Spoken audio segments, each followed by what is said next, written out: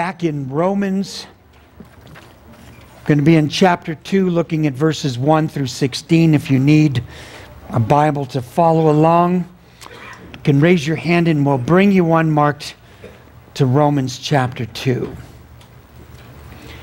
As the Apostle Paul writes to the church from Rome, from the city of Corinth, in about 57 AD, we get a stark description of the condition of mankind from God's perspective. We've heard a lot what, about what man has to say about God, but in chapter 1, we got to hear what God says about man. We see the condition of people that deny the reality of God in the darkness God turns them over to because that's what they want. They want a world and a life without God, and that's what He's going to let them have. As we understand the fallen condition of mankind, chapters 1 through 3 in the book of Romans will show us why mankind needs a Savior, why we need to be saved from the effects of our sinful condition because the Creator, Almighty God, is righteous and just and must judge deliberate, willful sin against God. Yes, the God that everyone instinctively knows exists, yet deny to themselves in the great lie of humanity. Sounds wonderful, doesn't it? Man, Romans 1 and 2 are some of the darkest chapters in all of the whole Bible. We see how difficult this thing of salvation really is for God. Thus, the book of Romans. It's a book from God that speaks to the deepest needs in a human's heart, a book that speaks to the secret, hidden things of a human being's heart. And as Paul, by the Holy Spirit, addresses the unrighteous that reject the reality of God to themselves in chapter 1, in chapter 2, now he's going to address, in a sense, the self righteous, or those who judge others for the same sinful condition they themselves are in without Christ. So, a warning. We may hear things that make us evaluate our own judgmentalism, even though we are in Christ. And at times, I feel that the Lord raises a soul mirror through the teaching of His Word that helps us to see what we're really about. Don't run from that. Embrace it and agree with what God says about you because He loves you, He cares about you. We might even find that, that we're blind to certain attitudes or actions in our lives that hinder us from growing in Christ's likeness ourselves. The Bible has a funny way of doing that, you know, exposing where we really are in God's evaluation of us. And I learned something last week at the park during the resurrection celebration from Pastor Isaac. And that I don't want to be a little baby. and if you, you missed the event, uh, they had him dressed up as a baby there. And, and Yoli said, So do you want to be a little baby? And he said, No, I don't want to be a little baby. I said, Well, you need to grow in Christ. So that's what I learned from Pastor Isaac. So let's look at Romans chapter 2 this morning, starting in verse 1. Paul tells us, Therefore, you are inexcusable, O man, whoever you are who judge, for in whatever you judge another, you condemn yourself. For you judge for you who judge practice the same things. But we know that the judgment of God is according to truth against those who practice such things. And just a note, he's speaking about verses 29 through 30 in chapter 1. He's writing to a world without God, in a sense, but he's writing to the church, and we'll find out why in a minute. He says in verse 3 Do you think this, O man?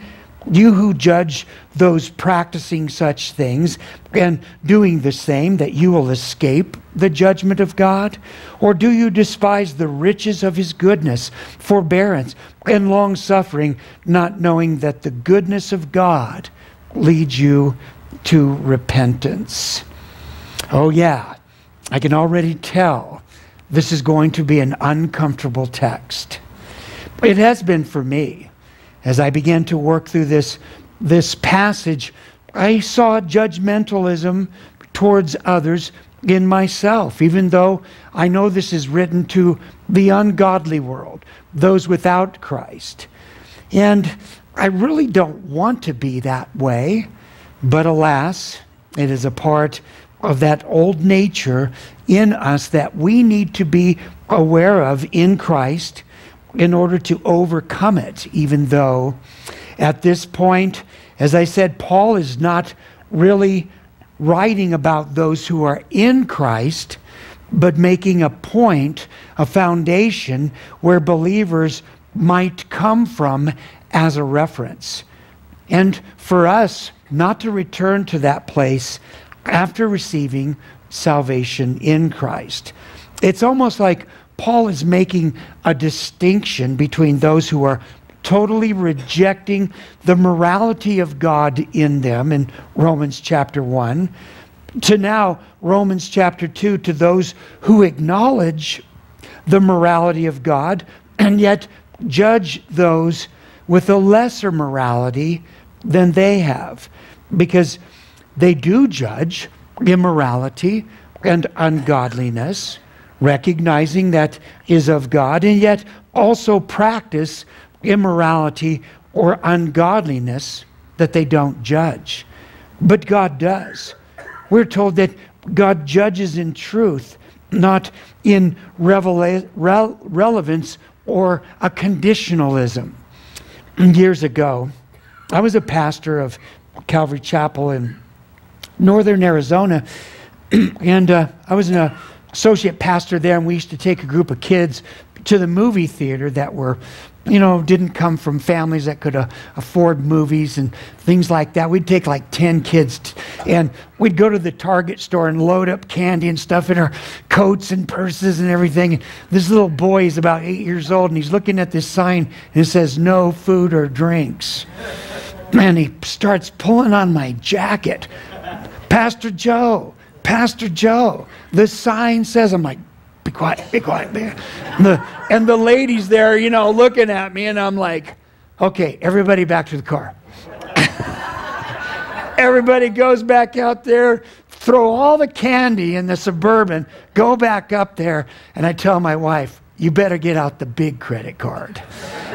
Because you can't take those kids to the movie without popcorn, candy. Seven bucks for a box of popcorn? That's unjust. It's unrighteous. Then you don't buy their popcorn, right?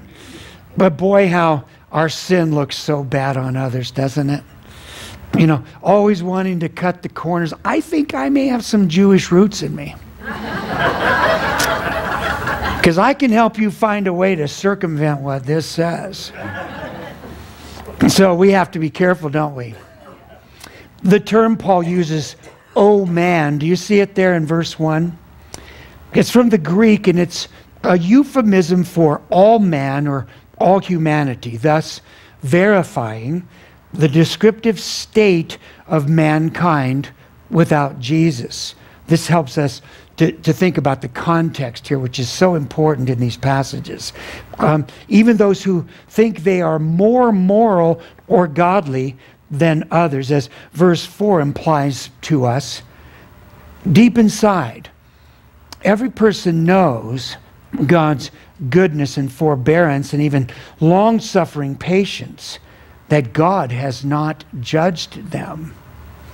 which should lead a person to repentance or changing their mind about what they think about God, or a condition at least where they want to change their mind about their immoral behavior because they can sense God has not judged them but was patient. Oh, how many times in our lives, especially before Christ, did we pray, Oh God, if you'll just get me out of this, I promise I'll change my life? I know it happened to me, which proves to me what Paul is saying here is true. It's realistic, though, and through my own experience, I actually experienced the grace and the forbearance of God, knowing I did deserve judgment, and I prayed that prayer. I know you probably never did that, but I did. And for many of us who came from, let's say, a very dark social past, once we found the forgiveness of God through Jesus, man, did we ever fall in love with Him. And it wasn't because we were more spiritual or greater people. No, Jesus said, He who is forgiven much loves much. So if you think I really love Jesus, that tells you something about me. As Jesus was speaking to the religious Jews of his time, that would fit into this category Paul is talking about as he continues in verse 5 and says, But in accordance with your hardness and your impenitent heart, you are treasuring up for yourself wrath in the day of wrath. Remember, chapter 1, we learned this wrath is not God being angry, that wrath equals God's judgment and revelation of the righteous judgment of God, who will render to each one according to his deeds.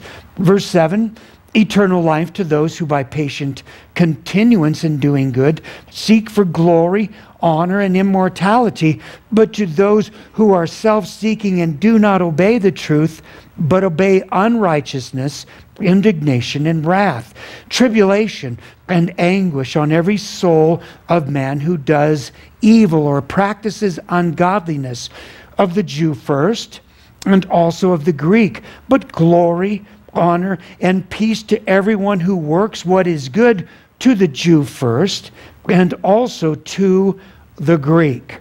It's very important to remember the context here is being justified in the righteous judgment of God. Being justified in the righteous judgment of man. Paul is laying a foundation to say, God is the creator and he's a righteous judge and he has to judge unrighteousness because he's a righteous judge. Paul says, the ungodly store up for themselves the judgment of God. Speaking of the day of judgment, Revelation chapter 20 in the Bible, where you won't be if you're a believer in Jesus because your sin was judged at the cross through Jesus Christ. So he's writing to this big, broad world out there in Payson, Arizona, the rim country. It's our Rome. There are seven hills here, you know.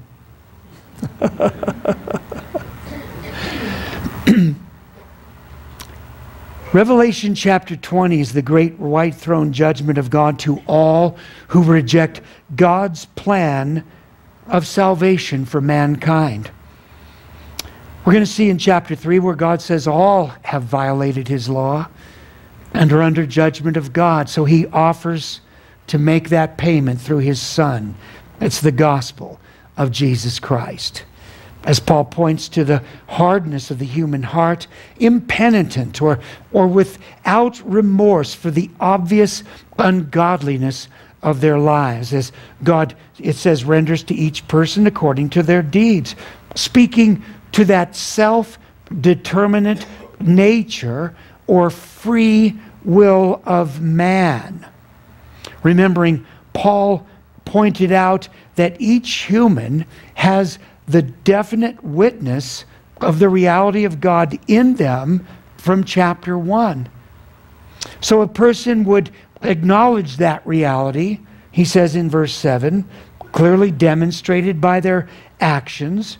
And uh, if they acknowledge the reality of God by doing righteousness and all of these things, that they're going to be with God.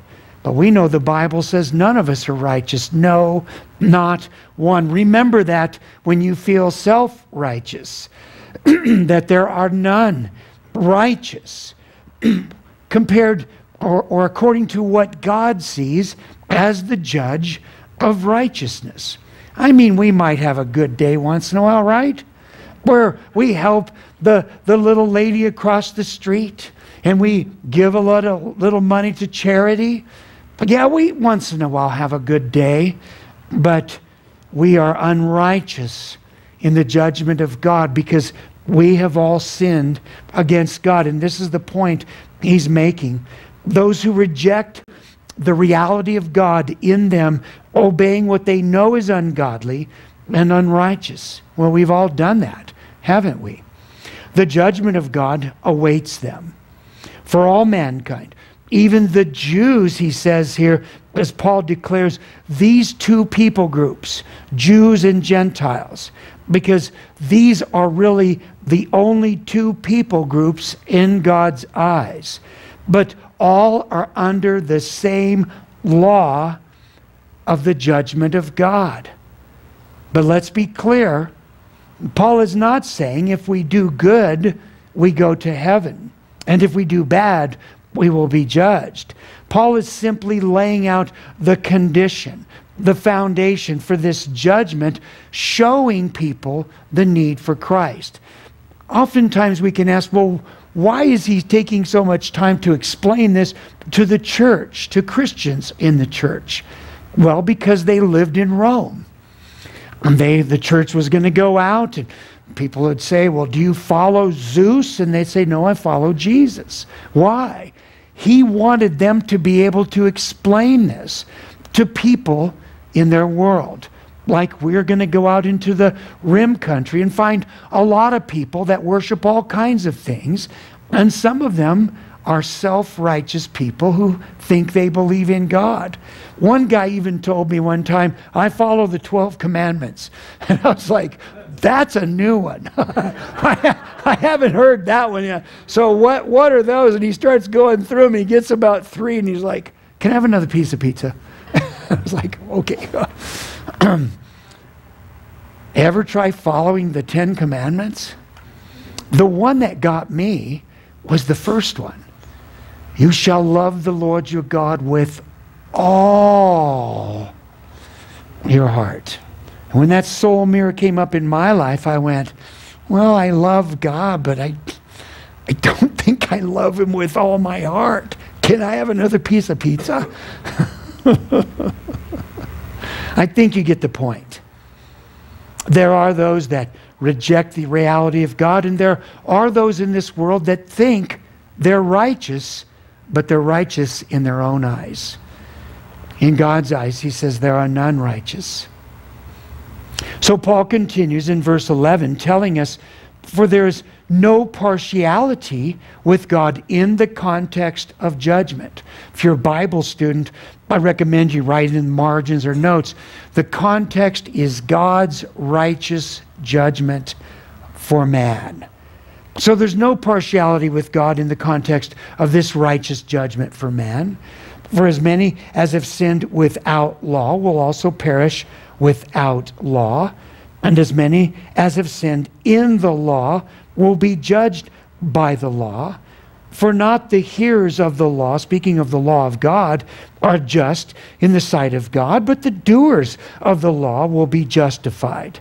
For when Gentiles or non Jews who do not have the law by nature do the things in the law, these, although not having the law, the law of God, are a law to themselves, who show the work of the law written in their hearts, their conscience also bearing witness, and between themselves their thoughts accusing or else excusing them. I'm really good at excusing them.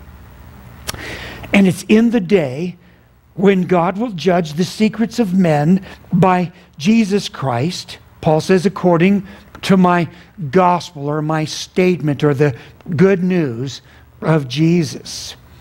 It's interesting.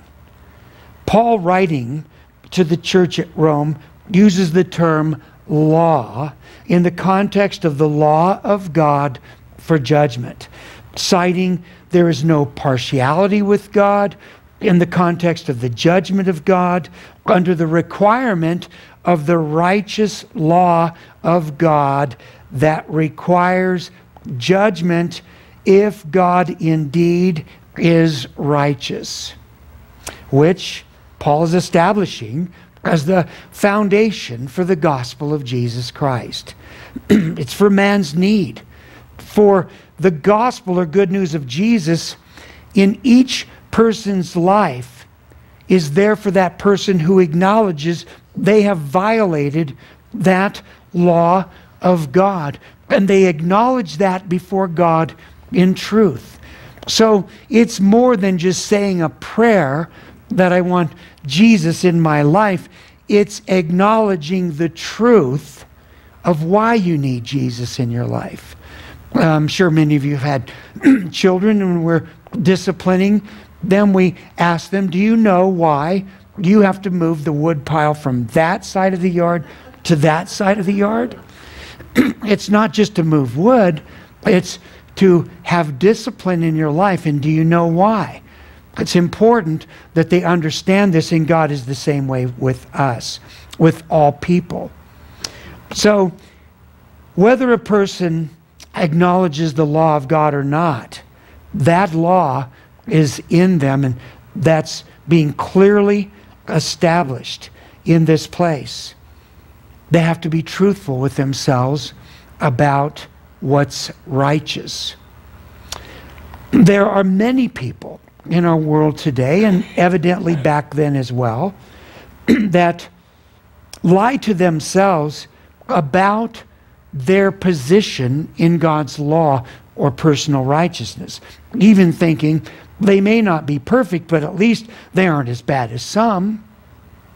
So, in a sense, they judge themselves, which Paul pointed out earlier, but not in truth, which Paul verified that God would judge mankind in truth. Do you want some popcorn? It's only $7 a box. No! So we have a way of rationalizing our own truth, don't we? I do. And I'm trying to get over it, and I'm much better than I used to be.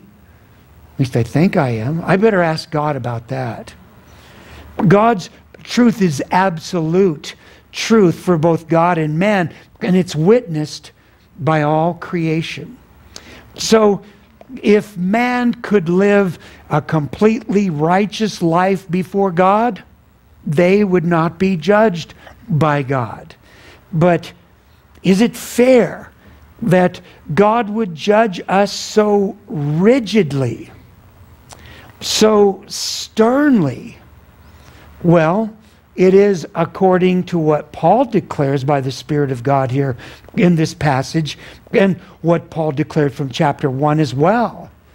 That man is without excuse because man knows God is real. And then, number two, that man willfully sins against that knowledge of the real God and the righteousness of God. That's why none of us are righteous in and of ourselves. Therefore, if God is completely righteous and just, then God must judge those who knowingly sin against God. I'm going to pause here for just a moment.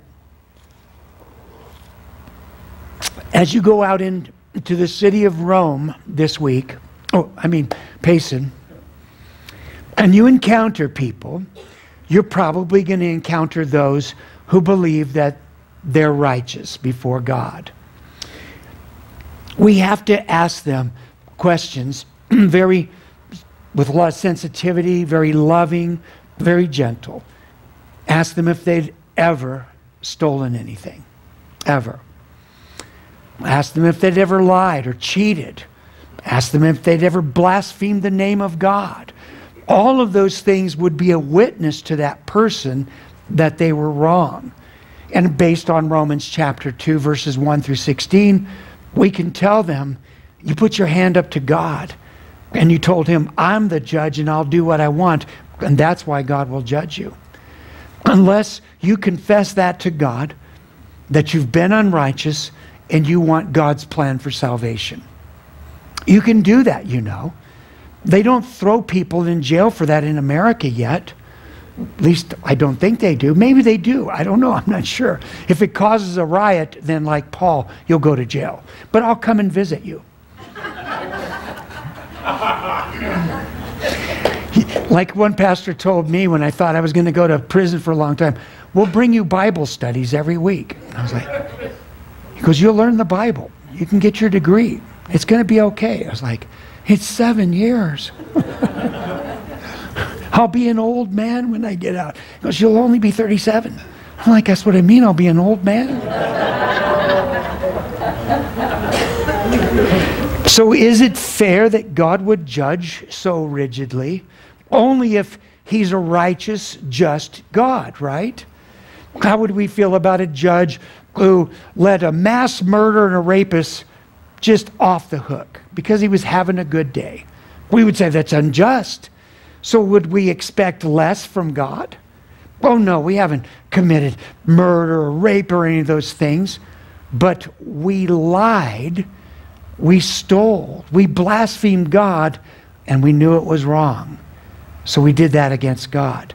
So he has to judge without, it says, without partiality, right? There's no levels of, God says, well, we'll let you go for the popcorn thing. I, I had 10 kids, I understand. No. He has to judge without partiality.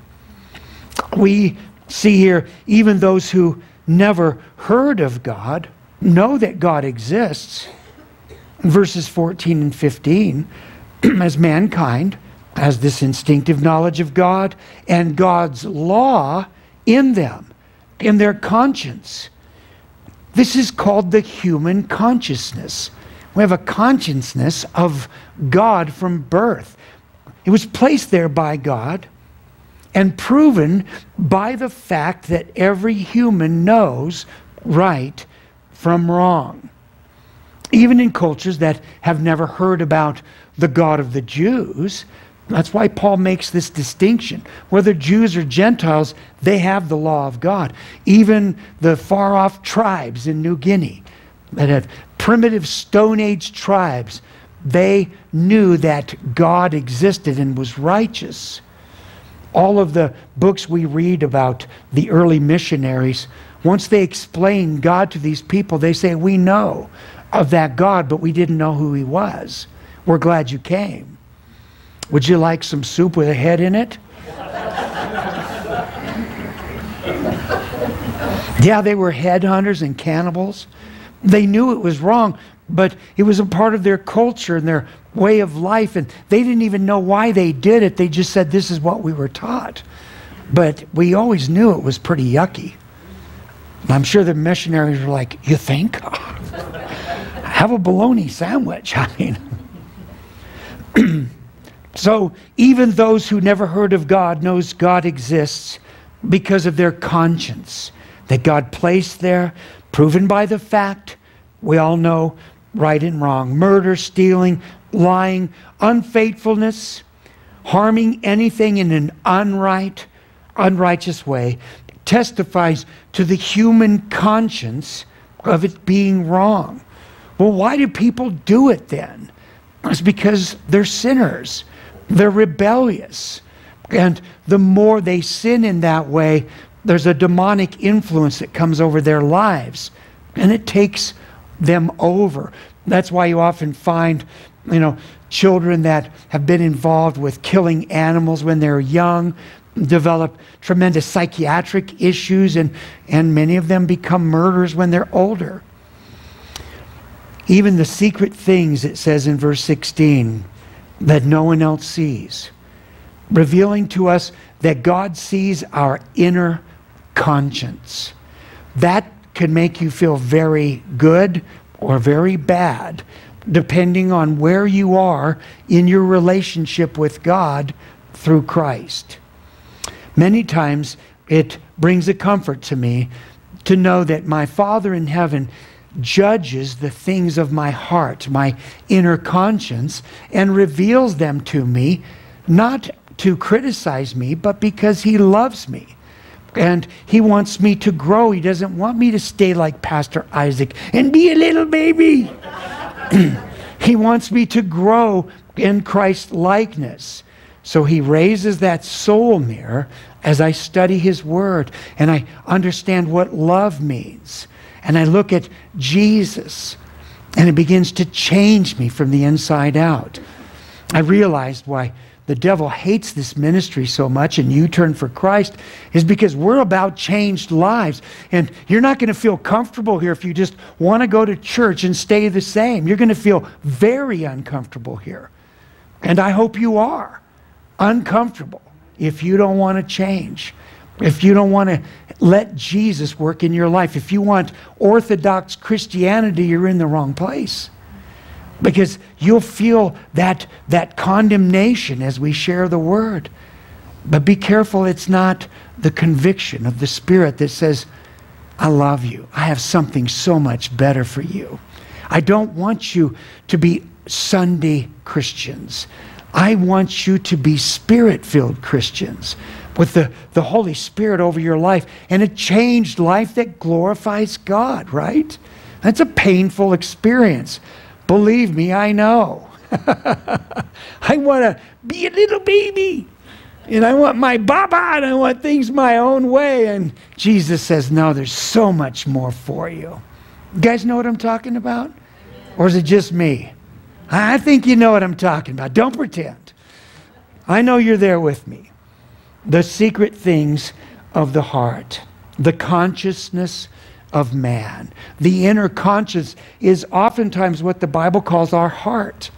Be careful. God said through the prophet Jeremiah that our heart is the most deceptive thing in us. That only God can really know it. So I come to Him and say, God, reveal my heart to me. Thank you for being so patience. It's your goodness that leads me to repentance. I know I'm not going to be judged because I'm in Christ, but I want to avoid that godly discipline because the last round, I think, left a mark. I hear a little bit of feedback. If you'll mute those mics for me up on the stage, I appreciate it. It's coming through the subwoofer, so. But anyway, it's probably that fan, or we had turned the fan on because this unit crashed on us this morning. The computer crashed, the unit crashed, and now I'm crashing. so, to summarize, all human beings will be judged by God because God is just and righteous and must judge unrighteousness to be just. Does it make sense? Wherein lies the beauty of the gospel? Of Jesus. That unrighteous man can be justified to God by putting their trust in the work of the cross, but they must be honest with themselves and God and admit, I need a Savior. I have been unrighteous. Think about that because God does not want you to have a Christian religiosity. He wants you to have a firm foundation. And that's exactly what the Holy Spirit is doing through this text. It seems human beings, myself included, struggle with being real with God or even themselves at times. We know the answer is because of that fallen nature of man in us we inherited through the first man, Adam, who denied the reality or the authority of God. And he chose his own way. And then mankind subsequently was born into that condition. Something else we know about God is that God is love. We're told that from the Bible.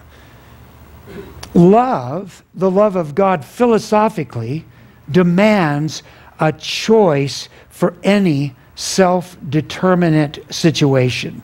Human beings, angels, those with what we call free will. This also includes God. He had to make a choice to love us, and the Bible says he did it before the foundation of the world, knowing each one of us. He could see that we would want the truth in our lives, and he revealed Christ to us. We know there's no other way, O oh man, O oh humanity, to be saved. Not through good religious works, not through anything that we do. The Bible tells us that over and over, and that's why Jesus had to go to the cross. Because you're going to go into Rome today, and people are going to tell you, well, I just do the best I can. And I try to follow the 14 commandments. and you need to be equipped to share these things with them in a loving, gentle way. It seems simple enough, but it requires the truth in mankind. As we look at this text this morning, we can find a lot of practical application for our lives, even instruction for us today from God's Word, as it seems one of the main issues for man is that of judging one another, it says here from chapter 2, while they are just as guilty in some sense, in some way, of that issue. And no, I may not rob a bank, but I'm going to rip off the movie theater because I think they charge too much for popcorn and I'm doing a good thing. I'm taking 10 kids. So we rationalize our unrighteousness when we set ourselves up as the judge. It's important for us to grasp the essence of this because we make terrible judges. We are called to evaluate things in our own lives and in the lives of others for the purpose of God's purpose in people's lives and in our own lives. Just as Jesus taught us not to judge one another in the context of condemning one another, but to evaluate first our lives. Remember that one, take the plank out of your own eye. I'm thinking, I can't picture this. but it's of course you know an illustration of that's that's how ridiculous it is when we judge others. Because we're not equipped to do it. Because we're just as guilty according to, to the word of god here. We have to and we need to evaluate our lives and the lives of others for the purpose of helping them. And and the purpose of saying man i've been in that place. Follow me I found a new path and it's working out really good. Follow me as I follow Christ, right? We have the tendency, I think, to be easy on ourselves for our ungodly actions, at least I am. But I, I think we have a tendency to be harder on others that are ungodly. As the old saying goes, our sin really looks worse on others than it does on us. Have you ever noticed that? Ooh, I hate that. I'm like, man, I can't believe you. You're doing that. You know, guy pulls up a stoplight, you know, pulls out no turn signal on. I'm like, man, all you got to do is turn on the turn signal. And I'm sitting there without my turn signal on. And then I'm like, oh. it's a good thing I didn't pull out the gun. right? Well, our sin really looks worse on others than it does on us. A classic example. Um, how did I get to that slide? I don't know. Let's go to this. There we go. I told you I was about to crash. The classic example from the Old Testament, of course, is the life of King David. You remember him from 1 Samuel, the book of Psalms. Man, we learn so much about David. Um, he was a man that followed God. He really loved the Lord. He believed in God and he served God, but he had many faults as well, just like we do. And after David had taken another man's wife because he was king and he could do whatever he wanted, it's a good thing they didn't make me king. I heard somebody complaining about one of the past pre- presidents whose name was Obama or something. And I was saying, I would have done worse. And he looked at me like, said, I, if they would have made me king, I would have blown it a lot worse than that. And maybe you would have too. But he really blew it because he was a king. He took another man's wife because he was the king. He thought he could do whatever he wanted. And then he arranged to have her husband killed to cover up an unwanted pregnancy. He had thought and he had gotten away with all of this. About a year later, a prophet of God came to David and told him about the story of a rich man who had many sheep, everything he wanted in life. Then he took this one poor man's little sheep, was the only sheep he had, and it was like uh, his pet. And he took that sheep and he slaughtered it to eat a dinner with a guest that he had. And David, of course, was furious. He was enraged. He said, That man should be put to death. And then the prophet said these terrible words David, you are that man. Oh, our sin looks so bad on others. David's sin was exposed, and fortunately for David, he repented. He changed his mind. He was broken before God. You can read about it in Psalm 51. But he paid a heavy price. God disciplined him for the rest of his life as a reminder I don't let kings do whatever they want. Remember, you're the king over your own life, right? You have a kingdom. It's called your life. But it is, is it under the righteousness of God, especially here in America?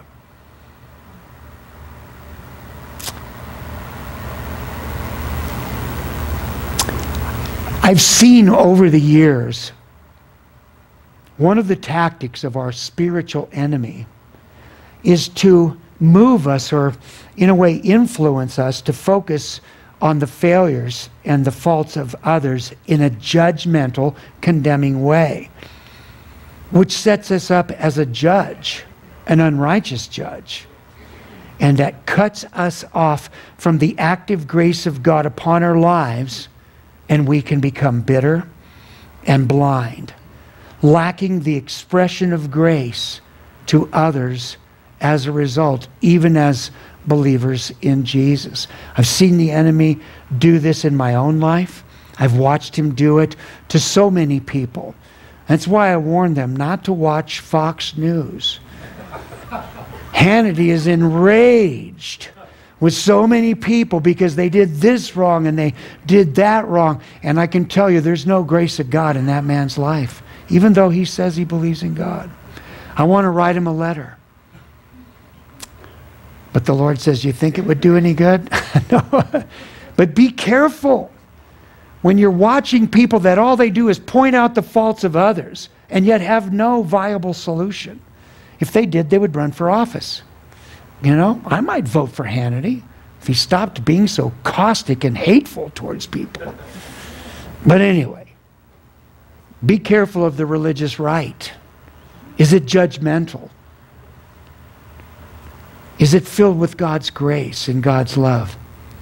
Think about Jesus. They spit in his face, beat him to a pulp, nailed him to a cross, and he said, Father, forgive them, for they know not what they do. Sean Hannity needs to learn about Jesus.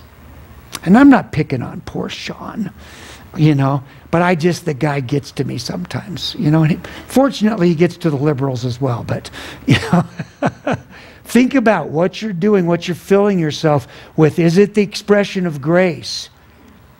The Word of God tells us that God gives grace to the humble, but He resists the proud. And that's why our spiritual enemy uses that tactic against us.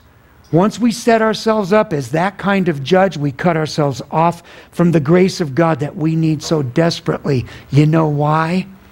Because we're sinful. We're not righteous. The Bible says so.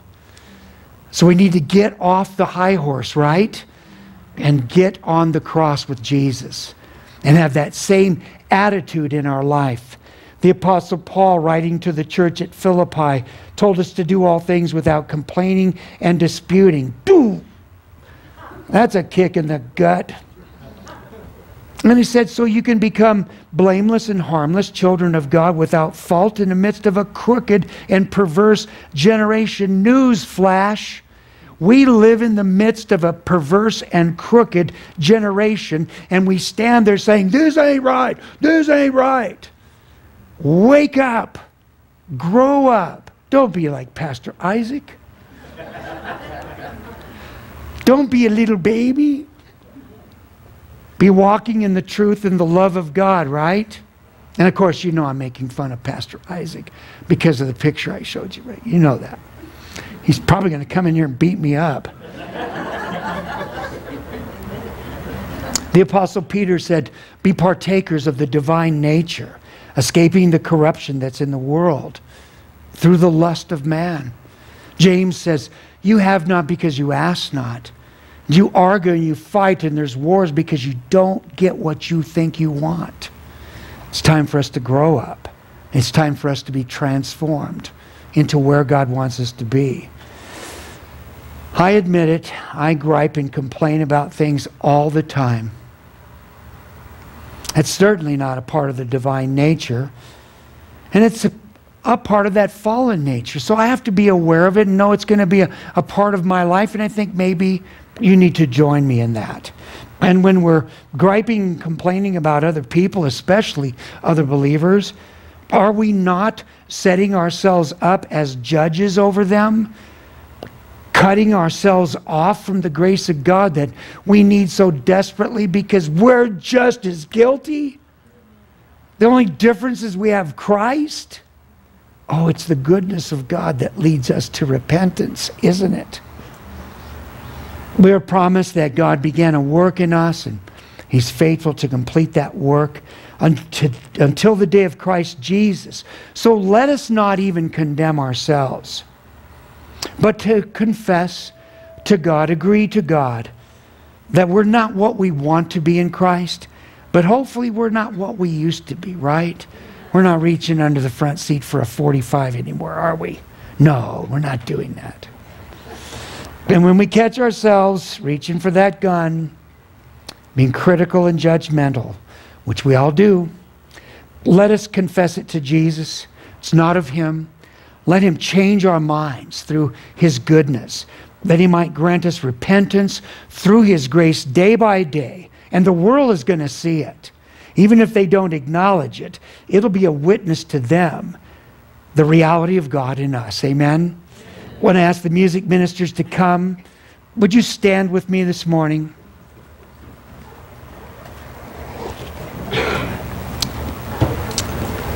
Well, I think we all need to come to Jesus every day, don't we? If you've never been truthful with God about your unrighteousness, confess to Jesus right now. I'm unrighteous before God, and I want the cross of Christ in my life to have eternal life so I won't be judged by God in wrath. We can pray with you after the service. If you've, if you've been a religious Christian, maybe said a prayer, oh God, oh Jesus, come into my life. But you've never confessed that you were going to be judged. And that Jesus paid the price for that judgment in your life so that you are not going to be judged by God in wrath. Yes, we may be disciplined by God, and it's a good thing. Children need discipline, or we'll be little babies. We want to grow in Christ. Amen. We're going to be here to pray with you. I know that life can really do some damage to us. We can have some deep hurts that we feel like we can't overcome, but I promise you the grace of God is more powerful than any hurt you've ever experienced. And it's the healing ointment that we all need in life. I promise you that. That God will heal that hurt place and He will use it for His glory in your life. Amen? Let's think about these things. If you want to receive Christ, you can come forward. If you want to pray right now to receive Christ, you can do that. If you've been judgmental, confess it to God. If you've been down on people like Sean and the rest of them, just tell them, man, that's not of Jesus. He, he wouldn't do that. Bring your hearts to Him this morning. Bless Him. The reckless love. Thank you, Lord.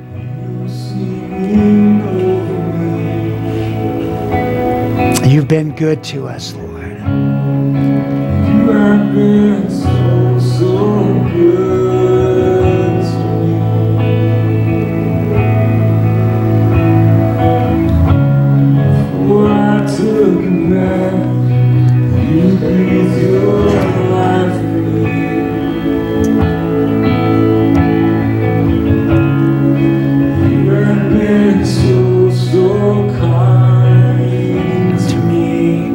Yes, you have, Lord.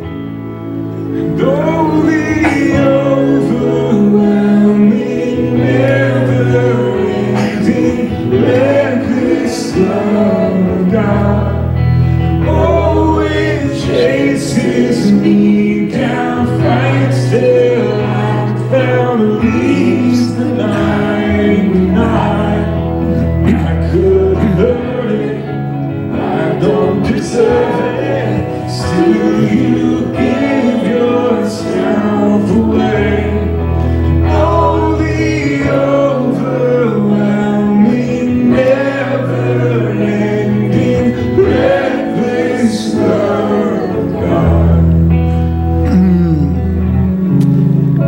thankful for that reckless love that reached our lives. Send us out now through your grace, Lord. Let your grace overflow us And when we feel that we're being judgmental, we can just bring it to you. When we're demanding that this ain't right, we will say, Well, Jesus made it right. Because none of us get this right. But he got it right at the cross. Amen. Give him praise and glory this morning for the goodness of God. Praise you, Lord, for your grace. In Jesus' name, amen.